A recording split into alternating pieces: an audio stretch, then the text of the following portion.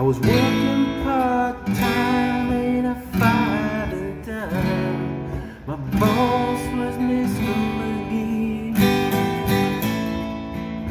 He told us several times that he didn't like my kind. Cause I was a bit